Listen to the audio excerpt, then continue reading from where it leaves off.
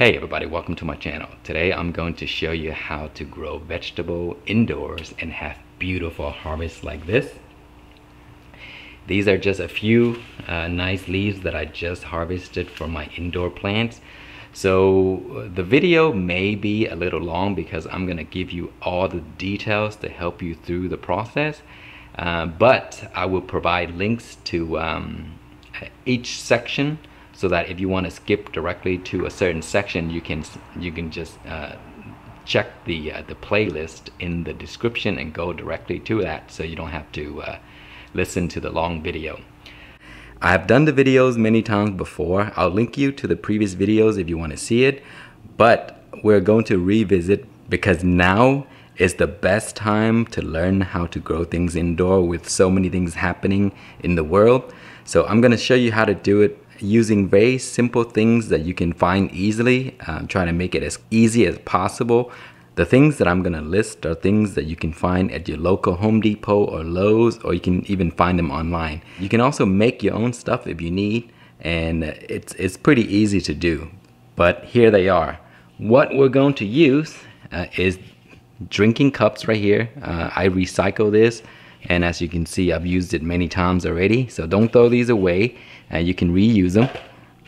You can also use solo cups and as you can see I've used it many many times before and what you can do is um, just use your scissor and you see here just cut some slits just two one one on each side and this would allow excess water to just drain out if you accidentally water too much and this is also acting as the a, a, a uh, place where the roots will come out because we're going to feed it uh, from the bottom uh, eventually. So that is what it is.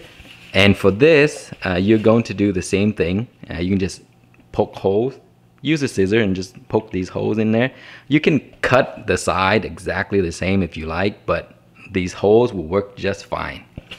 Okay, and uh, also because I have these containers that I bought from Amazon. They're really, really inexpensive. And I bought like a whole box full of this. I think they're like 50 of these uh, containers and I gave a bunch of it away. And four of these containers can fit into a uh, 10 by 10, 10 inches by 10 inches tray. And because we're growing this indoor, you're going to have to get a light setup, some kind of artificial light. So what I recommend is some LED lights. Uh, you can get them very inexpensive. If you don't know a source, uh, I can recommend one for you. I will post the link to Brad's channel. He's uh, the owner of Hidden Harvest Company.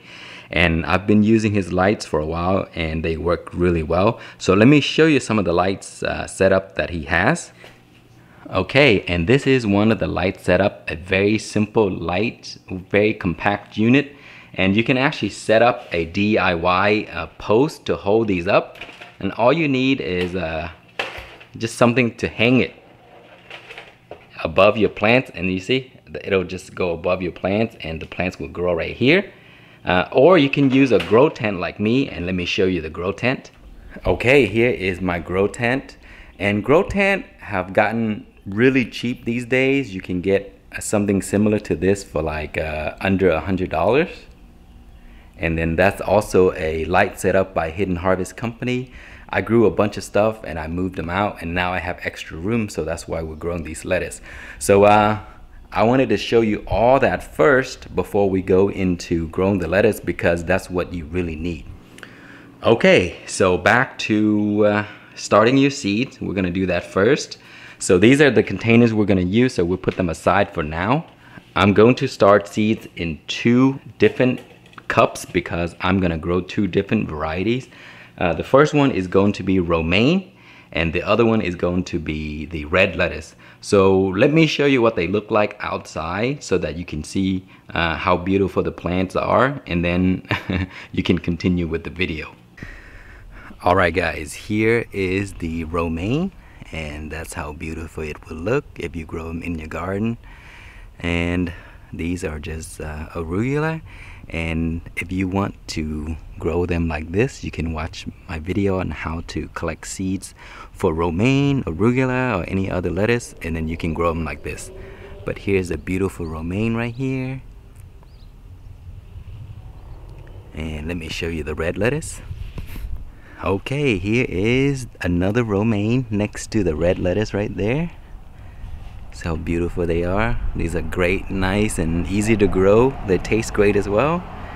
Okay, so for those that don't want to see the long introduction of all the items that may take a while and you're impatient, I'm gonna put a timeline below so you can skip directly through and uh, get to the part that you want to watch. So uh, let's go ahead and begin uh, with the starting our seeds. Um, of course, you're going to need seeds, and these are seeds that I harvested in the previous season. So these are these are romaine, and this huge bag here are the red lettuce. Okay, and uh, because you've grown this indoor, it's very important to get the correct type of soil because if you get the wrong type of soil then you could potentially have uh, fungus gnats flying around in your tent. So what I found was these here. And these are the ProMix uh, uh, compressed um, potting mix right here and uh, these don't have any fungus gnats in them but sometimes I have uh, I, I, put this in my garage and then I usually open my garage and fungus gnats still get in anyway. So that's okay because uh, it's in the garage so they're not as annoying. But if you're grown in your you know wherever your living space is and uh, the gnats are there it could be very very annoying. Okay? So uh, let's go ahead and add some seeds. So we'll take our container. We're gonna fill this up Okay, so we have the soil ready. Now we're gonna apply the seeds to the top. So we'll take uh, some seeds here and you can just pull out uh, these these fuzzy looking thing here. Just pull them out. And then just squeeze them in your hand. You see? See those seeds? So this is the uh, romaine lettuce seeds and as you can see just one of those fuzz is uh, contain all of these seeds here. So we're gonna try to space them out. That way because this is just a uh, container to start seeds we're gonna transplant them to another container. So um, there are the seeds on top. You can see you can just pat them down a little bit and then we just put another little thin layer of soil on top. And now we're going to add water. Make sure it's nice and moist so that the seeds can uh, make contact with the water so they can sprout. All right so once you add some water then we're going to take a bag and we're going to place it on top just like that. And then you put it basically anywhere. You can put it by the window. You can put it in your grow tent. Uh, seed, seeds don't need light to grow but as soon as they sprout you must provide them light or else they become leggy. And uh, those are not good to uh, to plant because it'll, it'll be a challenge. The plants will fall over and all that stuff. So make sure you give them plenty of light enough so that they don't become uh, thin and leggy so I'm going to put it into uh, my grow tent and I'll show you where they go. Okay guys, here is where the plants are going to stay.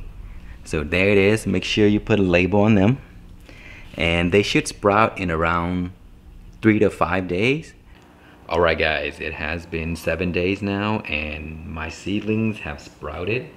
So the romaine was a little bit slower than the red lettuce, but um, they're good enough to be transplanted now.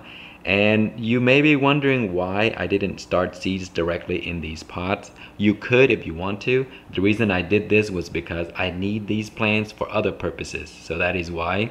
So a lot of people may wonder and make comments. There is a reason why I did this. But you can start seeds directly in there if you want to. So what we're going to do now is we're going to take the seedlings out and then we're gonna put it into these containers here. I'm gonna grow two red lettuce and two romaine and then another romaine.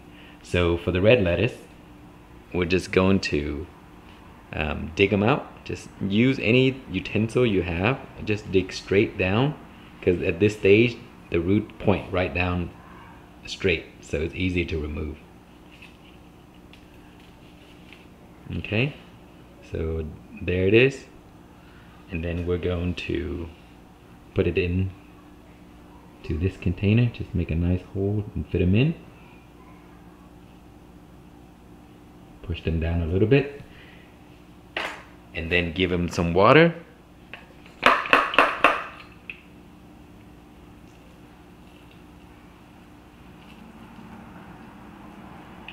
and then make sure the, the, the soil has nice moisture and it's not running wet um, if they are running wet and your soil has good drainage it'll drain through to the bottom and then the tray will catch it. So you you want to use good soil with good uh, drainage. All right guys so here is where the lettuce are gonna go. It's gonna sit right next to my solar power hydroponic. So there it is right there. Uh, has a tray down here to catch the excess water to keep my tent nice and clean. So I have five plants going on right now. You can do as many as you like.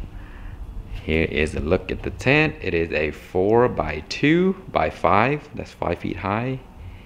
And this is uh, the light by Hidden Harvest Company. So I will post you all the links so you can check them out there it is we will be back soon once they grow and i will give you guys an update all right today is day number 13 and look at my plants. They are looking beautiful. I've added a few. This is spinach right here and uh pak choi uh, that one is uh, i think those are um, salad bowl lettuce and then the red lettuce is over there and then those two in the back and this one are romaine. So in 13 days, they are looking beautiful and growing nicely.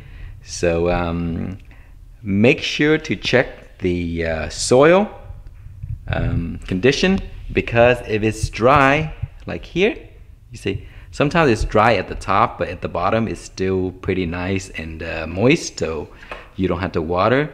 But uh, if it is dry, just get a spray bottle and then give it some water. All right, guys, it has been exactly 23 days now, and the plants are looking beautiful, except for these over here. So uh, those red lettuce are not doing very well because I forgot to water these plants for a while. And then a few days ago, I had a baby. So I left to go to the hospital and I didn't water the plants before that. And then I stayed in the hospital for a few days. So um, when I got back, these plants were pretty dried. So I think this one was dead because uh, it was just too dried. I was able to save that one, but it didn't do much. It it just didn't grow. I think that the roots were damaged, but the rest did just fine. And uh, this is pak choi here. Salad bowl lettuce is doing awesome. Romaine back there, and here's another romaine. And then I have some spinach. And you may be wondering why these here are growing so much faster than those. And that is because uh, for these here, I separated them. I grow them in cups. As you can see, they're double cups. And uh, I've been feeding them hydroponic nutrients to the bottom. And uh, when you do that, when you feed nutrients directly to the roots, it's like feeding candy to a baby. They love it and they just soak up the water and grow like crazy. So that is the difference. So here I haven't been feeding them anything. Uh, here I have been feeding them hydroponic nutrients. So um, that is the difference. You can do that if you like. So I will show you the process. So if you want to boost the growth of your plants, um, you can do that. So let's go ahead and and show you what what I did here. This is a one and a half liter of water the AeroGarden liquid um, plant food here. And I will list where you can get this they're very easy to come by. And these things will last for a very long time. So you don't have to buy the big jug like here. You can get a, a smaller one. Okay so for that we're going to use a medicine dropper here. This is a three milliliter. So I'm gonna to take just three milliliter and I'm gonna put it into 1.5 liter bottle and then you just shake it up okay and if you don't want to use that type of nutrients you can also use these here that you can buy uh, locally at your uh, garden center or your Home Depot or Lowe's or anything like that. These are very inexpensive. Um, they, I think they're under five dollars, and then sometimes during the winter time when there's clearance, these are like a few bucks. So I usually buy them in the winter time. And for this, what I usually do is uh, I use one, uh, let's see what they say here, tablespoon. So they, they, they tell you tablespoon um, you can go a little less if you like, but one tablespoon per gallon of water, just mix it up and then uh, feed the plants the same way. Okay, so here is what I'm gonna do. I'm gonna take my plants here and I'll just lift the cup. And as you can see, there are roots all over the bottom. You see? And you want to give it so there's a line down there at the bottom. The, the first line, uh, I, I, put a pebble in there so that I know um, where I should fill. So there's a pebble in there. So I just fill above the pebble. That's it.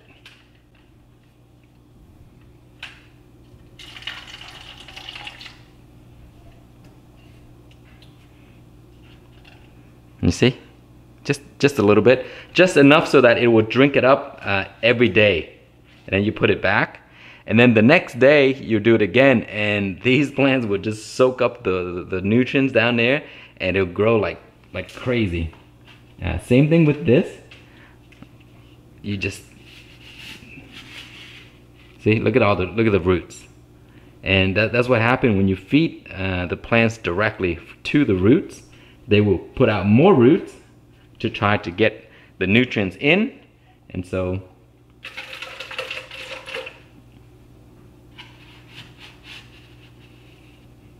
there you go. And so that is what I did to feed uh, these two plants uh, to get them to grow so fast. And um, you see how clean they are? I mean, you can do like four of these or five of these or however many uh, you have space for. And then you have a ton of lettuce. You can actually harvest right now. Just cut a few leaves and then they'll just keep growing back. And same with those as well. You can start harvesting this here and then they'll grow back. So um, whichever method you decide to go with, it, they still work the same.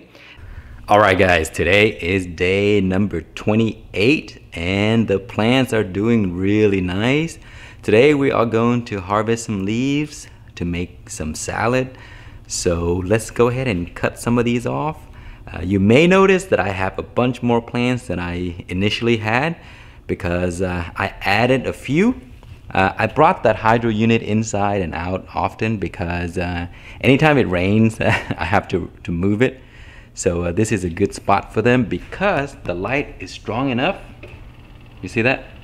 If you put it close enough, it'll generate bubbles. But anyway, just this is for the lettuce plants. So we are going to harvest this romaine, some spinach, and look at this beautiful salad bowl. Man, it is growing so much faster than the rest.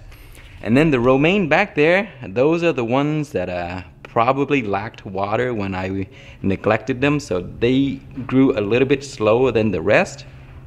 But uh, uh, I fixed the problem so they should be doing well. And I actually saved that one there. The other one is dead, so I took it out and I added some perpetual spinach. Uh, if you have not grown perpetual spinach, uh, they love heat and uh, they grow really well. They look like Swiss chard, but they taste very similar to spinach. So I added a few, and these are gonna be great plants to grow inside uh, in the warm condition. So let's go ahead and cut some of these and then allow them to grow back, and then we'll cut again at a later time. Okay, when you harvest lettuce, uh, you want to cut just the leaves that you need to use and then allow them to grow back because if you cut the entire plant, then that is it. so uh, just cut what you need.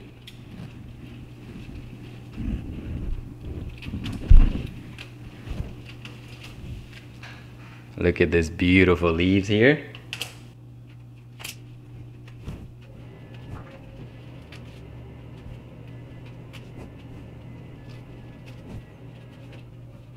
And then for the romaine,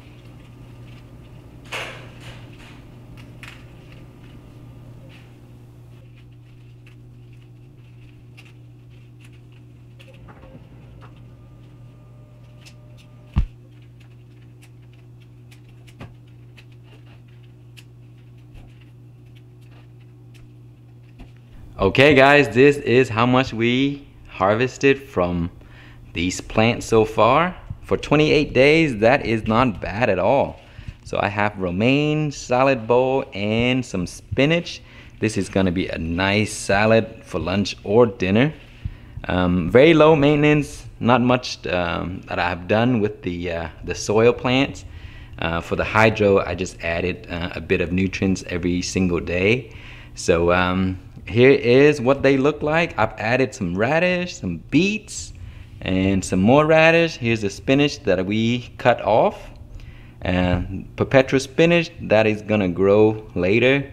This is the romaine and hydro. Salad bowl, there's really not much left of that.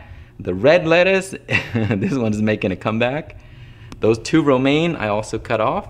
So um, that's what's happening in 28 days. They should grow back very soon, so I will come back and show you uh, another harvest uh, very soon. Alright guys, it has been six days now since we harvested the plants and now we can come back and harvest again so today I'm going to end the video, but before we go, I'm going to summarize what we've done. Also, uh, I want to give you guys a few tips to make things a little bit easier when you do this on your own. So uh, the first thing is, um, uh, as I mentioned, sometimes when you grow plants indoor, you may struggle with fungus gnats. And uh, to reduce the chances of uh, getting those gnats inside your grow room uh, is to use uh, soil that um, uh, potentially doesn't have any. So like if you go to the big box store like Home Depot and stuff like that, buy the bags that are stored inside. They're called a seed starting mix and they usually uh, store those inside the stores. And so those usually don't have any of those fungus gnats. Uh, if you see the bags laying on the floor outside, um, uh, you know, they usually have holes and stuff like that, then those will have gnats in them. Uh, also, um, fungus gnats usually uh, lay their eggs uh, uh, in the top layer of the soil. So if the top two inches of the soil is dry, um, then they can't get in and do, do anything and multiply. So um, initially, in the beginning that may be tough because you have to water from top in order for the, the young roots to get enough um, moisture to grow. But eventually, once they get old enough, the roots are all going to be way down here. And from that point on, you can bottom water so that when you uh, when the water soaked up into the soil, it goes to around somewhere here, and then the top is like bone dry and that will deter, deter fungus gnats from multiplying as well. So I'm going to show you um, the process that I use to water these plants now that they are really really big. Look at this, the red lettuce actually made it back after a long time since everything else is already big and being harvested.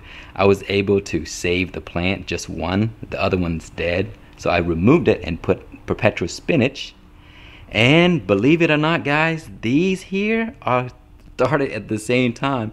And I took these guys from here and they were actually right here. So I dug them out and placed them there. And the reason this one grew so fast was because uh, it's in this little container here. And then once I see roots to the bottom, I fed the roots directly. And so that's why it is so big compared to those. So uh, feeding plants directly to the roots uh, will uh, increase their growth a little or maybe a lot. But uh, anyway, let me show you the, the watering process, um, uh, bottom feeding. So as you can see, I have this tray here. Um, this is a 10 by 20 and a 10 by 20 can actually hold eight of these pots here. I will list the pots uh, where I got them on Amazon so that you can use the same exact one if you want and also the trays. Uh, so 10 by 20 will hold eight of those tray uh, containers. Uh, you can also use a 10 by 10 and it will uh, hold just um, four. So uh, here is my watering process. And as you can see I, I showed you guys how to mix the nutrients and uh, I use the AeroGarden nutrients. You can use whatever you want. You can use uh, compost tea if you want to go with organic. And just put it into a gallon and then just pour it into the tray. You see that? And then at the bottom of each of those pots uh, there are openings. So the openings will allow water to be kind of like absorbed into the pot I'll show you. You see? And then the larger plants like the lettuce here you see it has roots down there and uh, that actually um, will help the plants get uh, the nutrients and the water directly. So it does uh, increase the growth rate. So uh, it's only been six days and uh, we can already harvest those those here and here. So let's go ahead and do that right now